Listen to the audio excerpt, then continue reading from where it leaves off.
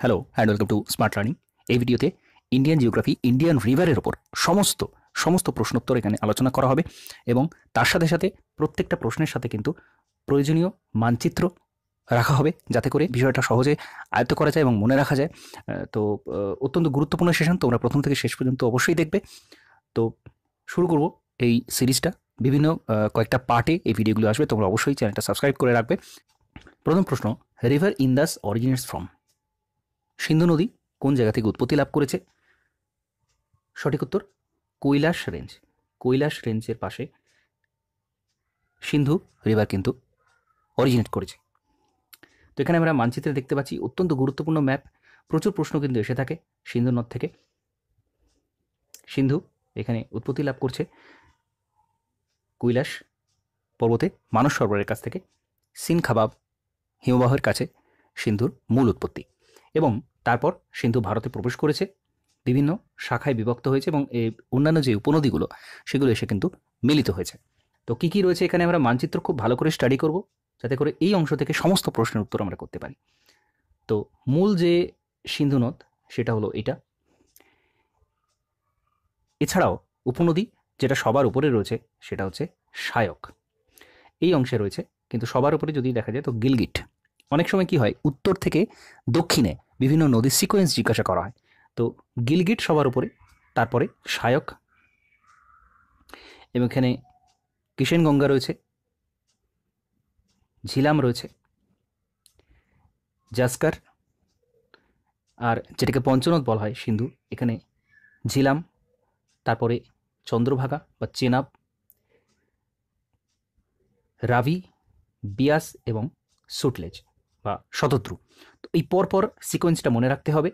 ঝিলাম, চেনাব, রাবি, বিয়াস এবং সুটলেজ বা শতদ্রু তো এভাবে প্রত্যেকটা নদী পরপর গিয়ে মিলিত হয়েছে এবং দু হাজার একুশে ইউপিএসসি প্রিলিমসের একটা গুরুত্বপূর্ণ প্রশ্ন এখানে জিজ্ঞাসা করা হয়েছিল যে এই যে সমস্ত পঞ্চনদ, এটা কিন্তু মূল যে প্রবাহটা, সেটা কার সাথে গিয়ে মিলিত হয়েছে? তো এটা কিন্তু চন্দ্রভাগা, চেনাব, এই নদীটার সাথে কিন্তু অন্যান্য সমস্ত নদীগুলো মিলিত হয়েছে। তারপর সেটা সিন্ধু নদের সাথে মিলিত হয়েছে। তো অত্যন্ত গুরুত্বপূর্ণ এভাবে বিভিন্ন মানচিত্র স্টাডি করলে আমরা কিন্তু ডাব্লিউবিসিএস এবং ইউপিএসসিতে আসা বিভিন্ন ধরনের প্রশ্নের উত্তর আমরা করতে পারব এবং ভারতবর্ষ নদীমাতৃক দেশ যেহেতু প্রচুর পরিমাণ নদী থেকে প্রশ্ন ইন্ডিয়ান জিওগ্রাফিতে এসে থাকে।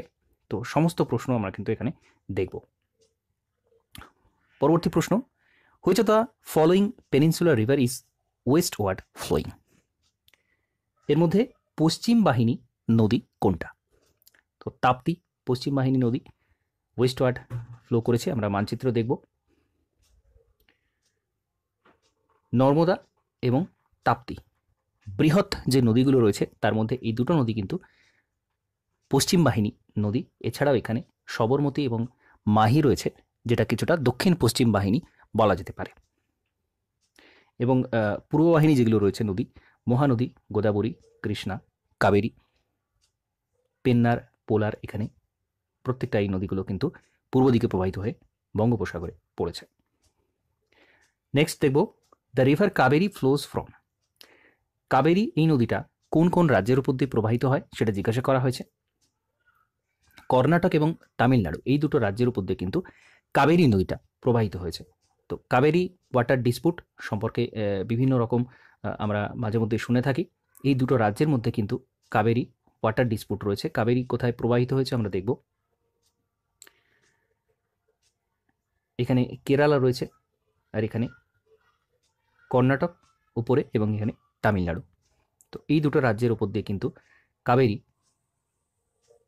প্রবাহিত হয়েছে এবং বঙ্গোপসাগরে পড়েছে। নেক্সট দেখব অত্যন্ত গুরুত্বপূর্ণ। The fertile land between two river is called দুটি নদীর মধ্যবর্তী যে উর্বর ভূমি, তাকে কি বলা হয়? দুটি নদীর মধ্যবর্তী উর্বর ভূমিকে বলা হয় দোয়াব। খুব গুরুত্বপূর্ণ এবং তার সাথে আরেকটা বিষয় এখানে গুরুত্বপূর্ণ। এই যে পঞ্চনদ রয়েছে, পঞ্চনদের মধ্যবর্তী যে দোয়াবগুলো, সেই দোয়াবগুলোর নাম জিজ্ঞাসা করা হয় বিভিন্ন সময়। তো শতদ্রু এবং বিয়াস বা বিপাশা, এর মধ্যে রয়েছে বিস্ট দোয়াব। এই যে দোয়াবটা প্রথমে এটাকে বলা হচ্ছে বিস্ট দোয়াব, শতদ্রু এবং রাভি। এই দুটো নদীর মধ্যে রয়েছে বারি দোয়াব। এই অংশটা বারি দোয়াব, রাভি এবং শতদ্রু বা এখানে বিয়াসও রয়েছে। এর মধ্যে রয়েছে বারি দোয়াব। চেনাব এবং রাভি। এর মধ্যে রয়েছে রচনা দোয়াব।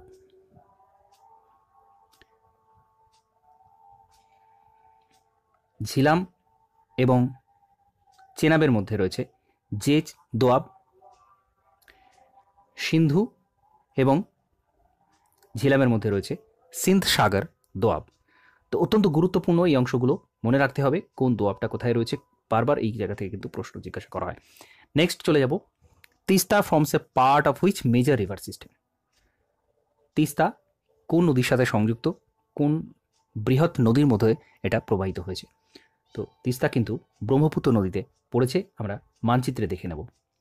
তো এখানে আমরা দেখতে পাচ্ছি গঙ্গা এসেছে, হুগলি নদী হিসেবে প্রবাহিত হয়েছে এখানে, এবং পরে সেটা পদ্মা নামে বাংলাদেশে চলে গেছে। ব্রহ্মপুত্র এসেছে, ব্রহ্মপুত্র ভারতের মধ্যে দিয়ে প্রবাহিত হয়েছে, এবং পরে সেটা কিন্তু বাংলাদেশে গিয়ে পদ্মাতে গিয়ে মিলিত হচ্ছে। আর এখানে রয়েছে তিস্তা। তিস্তা কিন্তু ভারতের মধ্যে দিয়ে প্রবাহিত হওয়ার পর সেটা ব্রহ্মপুত্রে গিয়ে মিশেছে। তো এই মানচিত্রগুলো অত্যন্ত গুরুত্বপূর্ণ। প্রত্যেকটা এখানে কিন্তু দেখতে হবে, খুঁটিয়ে এবং মনে রাখতে হবে। নেক্সট আমরা দেখব through which of the following stay sets of states does Krishna river flow Krishna river কোন কোন রাজ্যের মধ্য দিয়ে প্রবাহিত হয়েছে?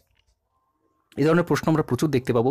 সবচেয়ে বড় যে নদীগুলো রয়েছে সেটা কোন কোন রাজ্যের মধ্য দিয়ে প্রবাহিত হয়েছে সেটা কিন্তু বারবার জিজ্ঞাসা করা হয়। তো এখানে উত্তর হচ্ছে মহারাষ্ট্র, কর্ণাটক এবং অন্ধ্রপ্রদেশ। এই তিনটে রাজ্যের উপর দিয়ে কিন্তু কৃষ্ণা রিভার প্রবাহিত হয়েছে। মানচিত্রে দেখব। কৃষ্ণা নদীর যে মূল প্রবাহিত প্রবাহ রয়েছে মহারাষ্ট্র।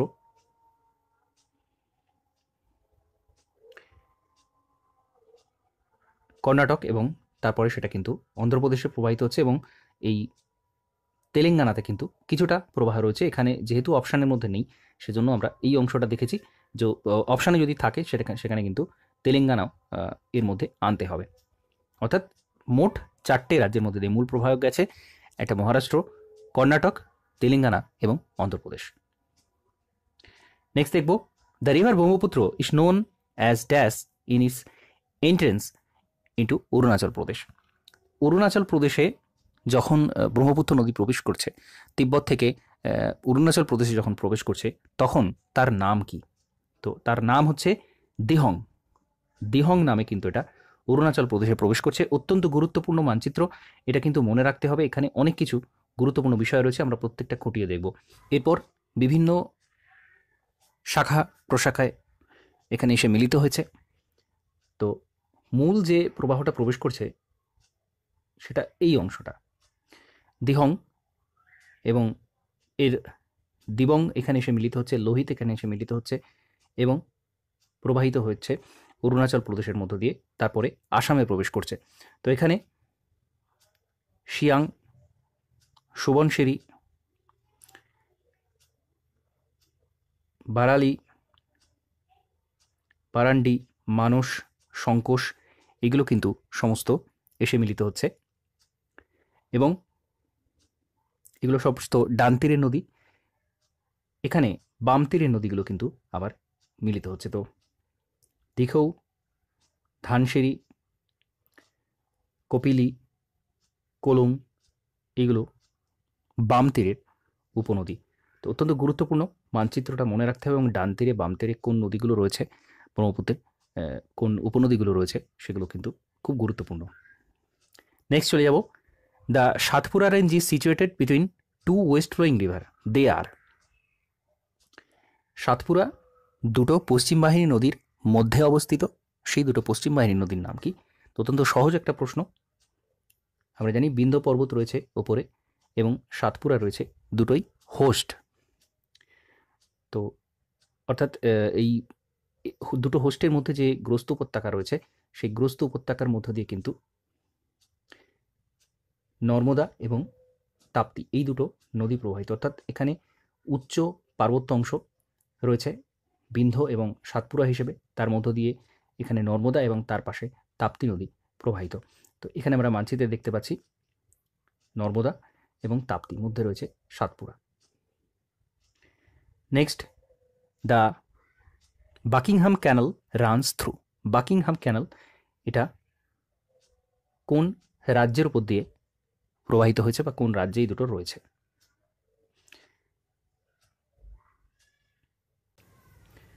তো বাকিংহাম কানাল আমরা দেখতে পাচ্ছি এখানে রয়েছে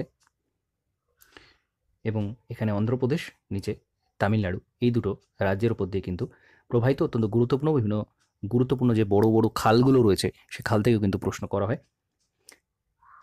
চলে যাও পরবর্তী প্রশ্নে। The largest irrigation canal in India সবচেয়ে বড় সেচ খাল ভারতবর্ষের মধ্যে কোনটা?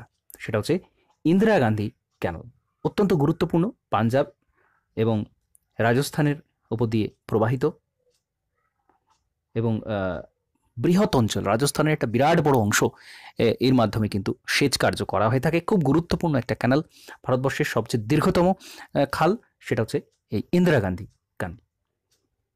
Canal next which of the following page is correctly matched pairs is correctly matched কোন আহ, অংশটার মধ্যে আহ, সঠিকভাবে ম্যাচ করেছে?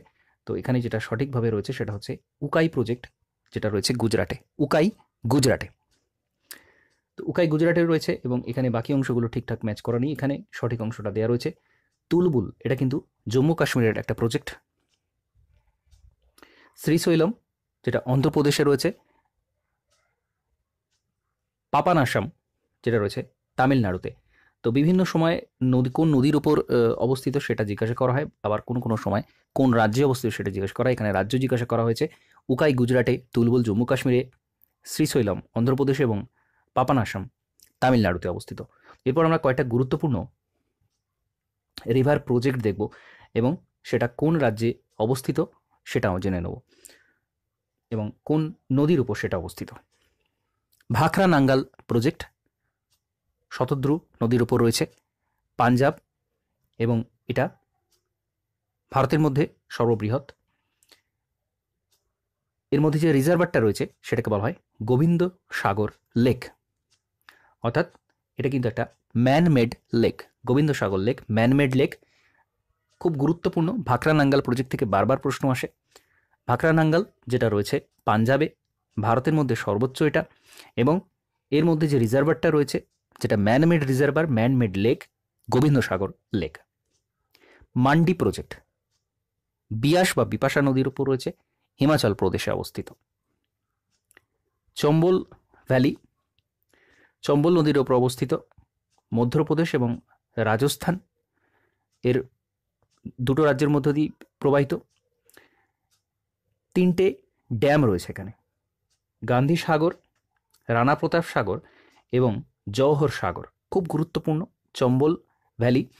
চম্বল নদীর উপর এই প্রজেক্টটা রয়েছে মধ্যপ্রদেশ এবং রাজস্থানের মধ্যে। তিনটে ড্যাম রয়েছে এখানে। এই চম্বল প্রজেক্টের মধ্যে তিনটে ড্যাম রয়েছে, তিনটে বাঁধ রয়েছে, তিনটে জলাধার রয়েছে, গান্ধী সাগর, রানা প্রতাপ সাগর এবং Jawahar Sagar. Next Damodar valley project. Damodar নদীর উপর রয়েছে। মূল অংশটা বিহারে অবস্থিত এবং ইউএসের টেনেসি ভ্যালি প্রজেক্টের অনুকরণে এইটা করা হয়েছে। দামোদর ভ্যালি প্রজেক্টটা টেনেসি ভ্যালি অনুকরণে করা হয়েছে। হীরাকুদ মহানদীর ওপর অবস্থিত উড়িষ্যাতে। একসময় এটা পৃথিবীর মধ্যে সর্ববৃহৎ ছিল, বর্তমানে এটা ভারতের সর্ববৃহৎ। রিহান্দ সোন নদীর ওপর মির্জাপুরতে অবস্থিত। গোবিন্দ বল্লভপন্থ রিজার্ভার বলা হয় এই অংশটাকে। কোশি প্রজেক্ট কোশি নদীর উপর অবস্থিত বিহারে। ময়ূরকাশী প্রজেক্ট ময়ূরকাশী নদী, সরি, এটা ময়ূরাক্ষী হবে, ময়ূরাক্ষী প্রজেক্ট, ময়ূরাক্ষী নদী, ময়ূরাক্ষী নদ, যেটা ওয়েস্ট বেঙ্গলে অবস্থিত। কাকরাপাড়া প্রজেক্ট তাপ্তি নদীর উপর অবস্থিত গুজরাট রাজ্যে নিজাম সাগর প্রজেক্ট, মঞ্জিরা নদীর উপর অবস্থিত অন্ধ্রপ্রদেশে, নাগার্জুন সাগর প্রজেক্ট, কৃষ্ণা নদীর উপর অবস্থিত এটাও অন্ধ্রপ্রদেশে, তুঙ্গভদ্রা প্রজেক্ট, তুঙ্গভদ্রা ভদ্রা নদীর উপর অবস্থিত অন্ধ্রপ্রদেশ এবং কর্ণাটকে শিব সমুদ্রম প্রজেক্ট, কাবেরী নদীর উপর, কর্ণাটকে, টাটা হাইডল স্কিম, ভীমা নদীর ওপর মহারাষ্ট্রে, সরাবতী হাইড্রো প্রজেক্ট যোগ ফলসের ওপর রয়েছে কর্ণাটকে। কুন্দা এবং পেরিয়ার তামিলনাড়ুতে রয়েছে পেরিয়ার নদীর ওপর। ফারাক্কা, গঙ্গার ওপর রয়েছে পশ্চিমবঙ্গে। এবং এটা বিদ্যুৎ উৎপাদন, কৃষিকাজ এবং নেভিগেশন এর কাজের সুবিধা, সেল্ট রিমুভেশন এর মধ্যে এর মাধ্যমে কিন্তু করা হয়।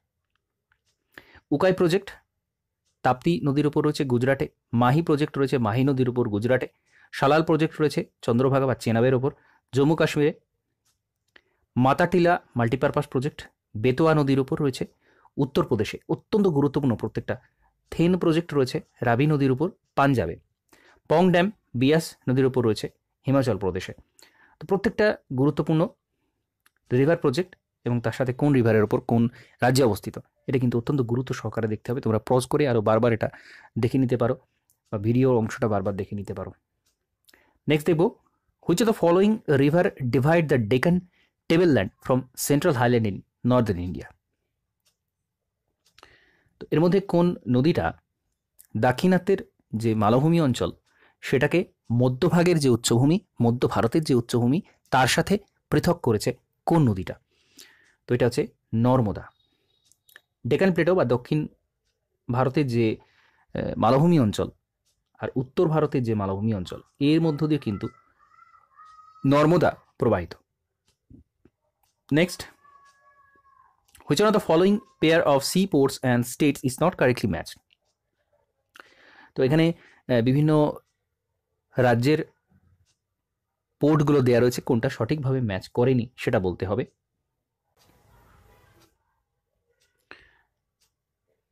কাকিনাড়া, মহারাষ্ট্র।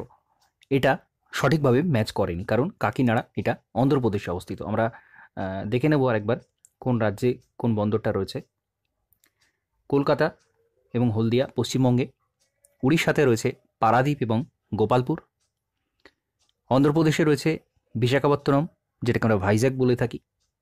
কাকিনাড়া, যেটা প্রশ্নে রয়েছে, এবং কৃষ্ণাপাতম। তামিলনাড়ুতে অনেকগুলো বন্দর রয়েছে। এন্নোর চেন্নাই পণ্ডিচেরি কুডালোর, নাগাপত্তনম এবং তুতিকোরিন। কেরালাতে রয়েছে ম্যাঙ্গালোর কাসারকোট কালিকট এবং কোচিন। কর্ণাটকে রয়েছে কারওয়ার, বেলিকেরি, ম্যাঙ্গালোর কাসারকোট সরি তো এই অংশটা কর্ণাটকে রয়েছে, এই দুটো। মহারাষ্ট্রে রয়েছে, এখানে কিন্তু মূল বন্দর যেটা, আন্তর্জাতিক যে সমস্ত বড় বড় বাণিজ্য হয়, মেজর পোর্ট যেগুলো, তার সাথে কিন্তু আরও ছোট বন্দরগুলোও দেওয়া রয়েছে, কারণ প্রশ্ন বিভিন্নভাবে ঘুরিয়ে ফিরিয়ে আসে, সবগুলো জেনে রাখতে হবে আমাদের। মুম্বাই, ধানু, নবসেবা, দারামতার রত্নগিরি, রেডি, মারমাগাঁও। মারমাগাঁও এবং পানাজি অংশ এটা গোয়াতে রয়েছে, খুব ছোট্ট অংশ, এখানে বোঝা যাচ্ছে না। মারমাগাঁও এবং পানাজি গোয়াতে। এবং বাকি এই অংশটা কিন্তু নবসেবা বা ধর্মাতার, রত্নগিরি, এখানে ধানু, মুম্বাই, এই সমস্ত গুরুত্বপূর্ণ পোর্টগুলো কিন্তু মহারাষ্ট্রে অবস্থিত। এবং গুজরাটে প্রচুর পোর্ট রয়েছে, আমরা দেখতে পাচ্ছি। जकाऊ मंडवी वंदिनार मुंद्रा सलाया ओखा पोरबंदर मल्डवारका वराभल जफराबाद पीपाभव भवनगर दहेज मागडाला। তো সমস্ত এখানে গুজরাটেরগুলো সমস্ত মনে রাখার প্রয়োজন নেই। অন্যান্য রাজ্যে দুটো, তিনটে, চারটে করে রয়েছে, সেটা মনে রাখতে হবে। তো বাকি অংশগুলো গুজরাটে, এইটা মনে রাখলেই চলবে এবং গুজরাটে যে গুরুত্বপূর্ণ বন্দরগুলো রয়েছে, কান্দালা পোরবন্দর এই এই বন্দরগুলো কিন্তু মনে রাখতে হবে। নেক্সট কোশ্চেনে চলে যাব। From north toward south, which one of the following is the correct sequence of the given river in india?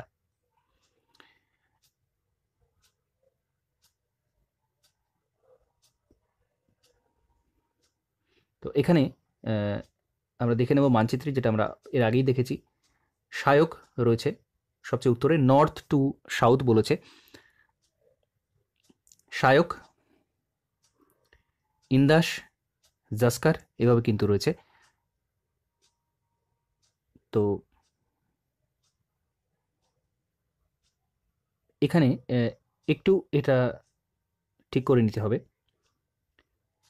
শায়কের পর কিন্তু এটা জাস্কার হবে। কারণ শায়ক এখানে রয়েছে, তারপর জাস্কার রয়েছে। তো শায়কের পর জাস্কার, তারপরে সুটলেজ এবং স্পিতি। স্পিতির, এ- এরপরে রয়েছে। তো এই অংশটা মনে রাখতে হবে। পরপর সিকোয়েন্সটা কিন্তু এখানে খুব গুরুত্বপূর্ণ। বিভিন্নভাবে ঘুরিয়ে ফিরিয়ে সিকোয়েন্স জিজ্ঞাসা করা হয় এবং কিষেনগঙ্গা এই নদীটার কেউ নিয়েও বিভিন্ন রকম প্রশ্ন কিন্তু করা হয়। তারপর ঝিলাম রয়েছে এখানে। প্রত্যেকটা মানচিত্র থেকে এটা আমাদের কিন্তু করতে হবে। Next the Almatti is on of the on the river Almatti এই ড্যামটা কোন নদীর উপর রয়েছে? তো এটা কৃষ্ণা নদীর উপর রয়েছে। আমরা কৃষ্ণা নদীর উপর সমস্ত গুরুত্বপূর্ণ ড্যামগুলো দেখব। মহাবালেশ্বর নারাসোবা ওয়াডি অমরাবতী, শ্রীশৈলম, নাগার্জুনকোন্ডা এবং বিজয়ওয়াড়া। এগুলো কিন্তু সমস্ত কৃষ্ণা নদীর ওপর অবস্থিত, অত্যন্ত গুরুত্বপূর্ণ। নেক্সট কোয়েশ্চেন দেখব। Which of the following is an inland riverine port নদী বন্দর এর মধ্যে কোনটা? ইনল্যান্ড যেটা সমুদ্রে নয়, যেটা স্থলভাগের মধ্যে রয়েছে এবং নদী বন্দর যেটা, সেটা হচ্ছে কলকাতা অবশ্যই। তো এখানে আমরা খুব সুন্দর একটা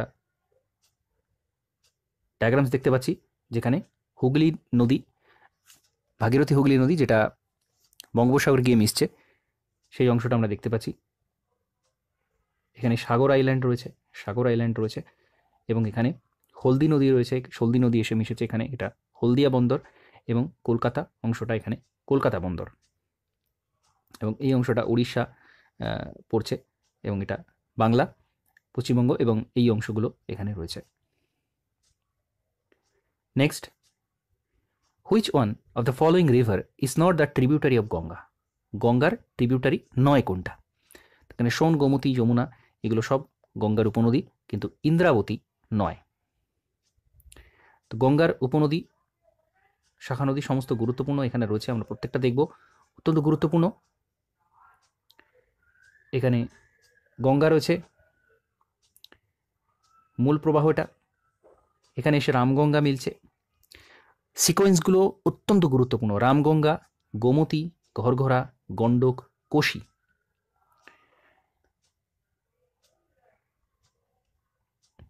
ডান তীরে যমুনা এবং সোন।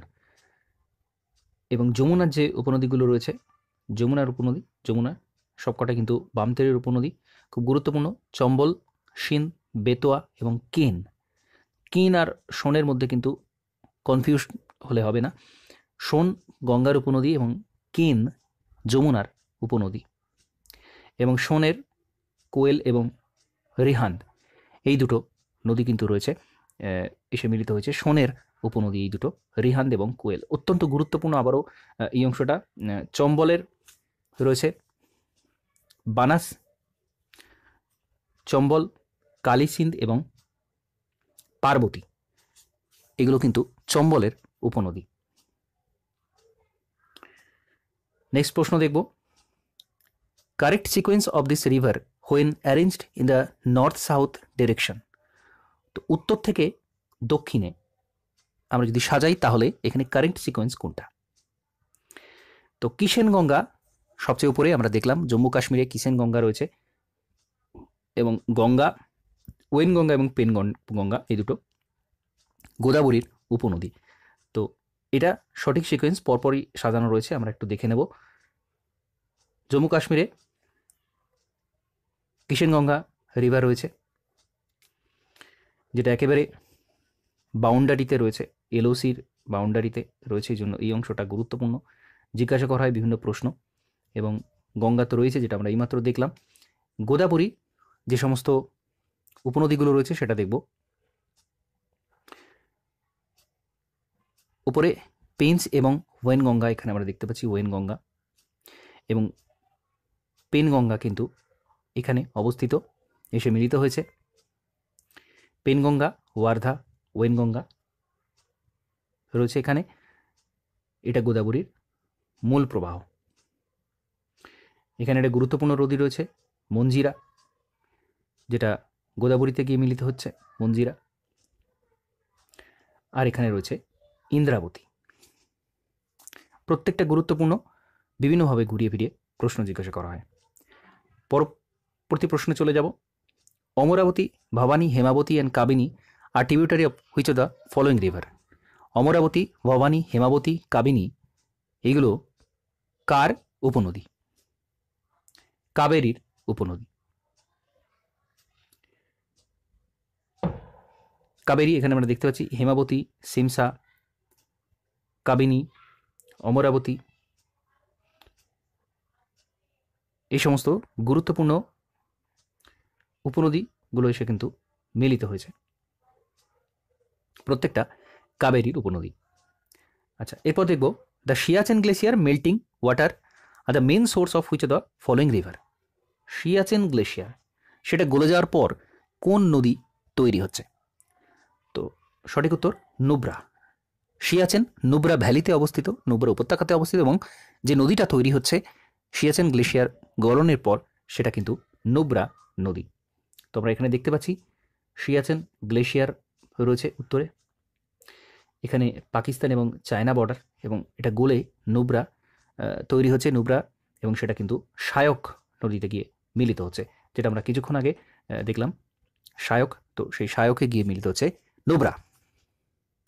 Next which city is located on the bank of the river Mulamutha Mulamutha এই নদীর তীরে কোন শহরটা অবস্থিত? নদী এবং শহর থেকে প্রচুর প্রশ্ন করা হয়। মুলামুথা এর তীরে পুনে শহরটা অবস্থিত। তো এই অংশটা আমরা দেখতে পাচ্ছি। পুনে, তো মুলামুথা রিভারটা এইভাবে গেছে। পুনে শহরটা মুলামুথা নদীর তীরে অবস্থিত। অত্যন্ত গুরুত্বপূর্ণ একটা প্রশ্ন।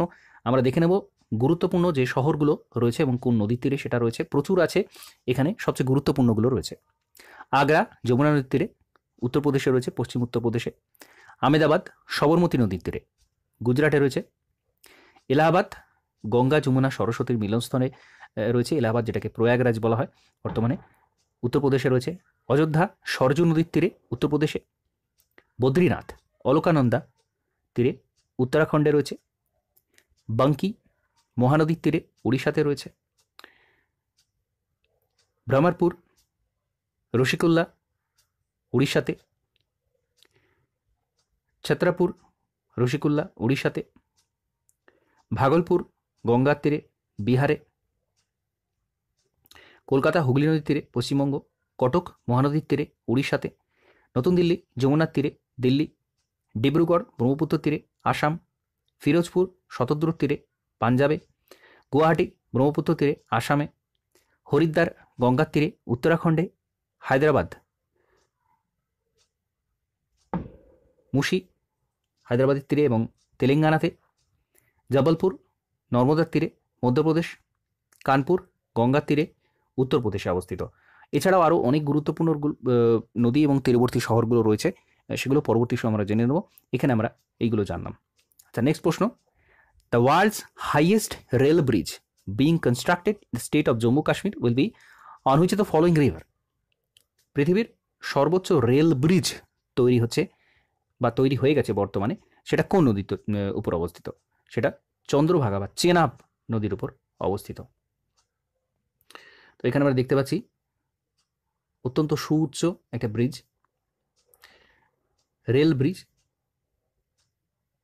এটা জম্মু কাশ্মীরে রয়েছে এবং চেনাব নদীর উপর। Next river Kaveri originates from which of the following state Kaveri এটা কোন রাজ্যে উৎপত্তি লাভ করেছে? এটা কর্ণাটক রাজ্যে উৎপত্তি লাভ করেছে কাবেরী। তো এখানে আমরা দেখব গুরুত্বপূর্ণ যে রাজ্যগুলো রয়েছে, কোন নদীর তীরে, কোন নদী কোন রাজ্যের উপর দিয়ে প্রবাহিত হয়েছে। বারবার প্রশ্ন করা হয়, তো আমরা সেগুলো দেখব এবং লেন্থ কোথায় অরিজিন এবং কোথায় গিয়ে পড়েছে, সবচেয়ে গুরুত্বপূর্ণ নদীগুলো সেটা দেখব। গঙ্গা অরিজিন করেছে এটা গঙ্গোত্রী গ্লেশিয়ার থেকে উত্তরাখণ্ডে এবং বে অফ বেঙ্গল বা বঙ্গোপসাগরে পড়েছে। কোন কোন রাজ্যের মধ্যে প্রবাহিত? উত্তরাখণ্ড, উত্তরপ্রদেশ, বিহার, ঝাড়খণ্ড এবং পশ্চিমবঙ্গ। যমুনা যমুনা হিমবাহ গাড়োয়াল হিমালয় পড়েছে। এটা গঙ্গা নদীতে হবে। আচ্ছা যমুনা প্রবাহিত, উত্তরাখণ্ড, হিমাচল প্রদেশ। উত্তরপ্রদেশ হরিয়ানা এবং দিল্লি।